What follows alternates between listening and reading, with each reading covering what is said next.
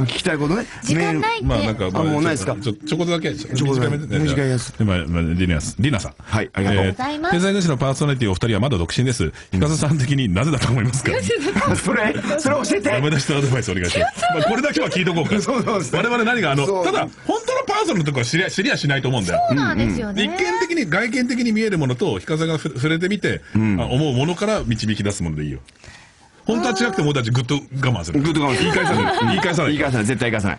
もう細やんは、うんもうちょっとね、うんあのね、細かい。めんどくさい。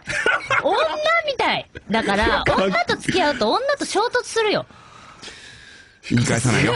俺は言い返さない。そうだ、頑張る。今我慢するん言い返さないだ。俺は200回だ。200回言い返さない。もっと言って、もっと言って。200回で我慢しろ。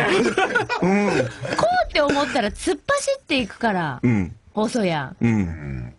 言い返さないよでも。、理解はしてはもらってるようなイメージはあるな、今。でやでも、話は聞いてくれるからね、本崎君ちゃんと。そうですねちょっと待って、それ違うよって言ったら聞いてくれるから。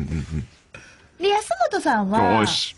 ちょっと私はわかんないんですよ。なんで結婚できないのか。しないんじゃないかなって思ってます。ああ、評価。言い返さないぞ。言い返さない。200回だ、我慢しよう。200回200回で我慢しよ先輩なんでちょっと気遣いました。違う違うこの人やっぱやべえもん。言い返さない、言い返さない。言い返さない。う。ノリはやばい。何がやばいかが知りたいんだな、何がやばいの？何が？モンスターじゃん、モンスタえどういうこと？ー。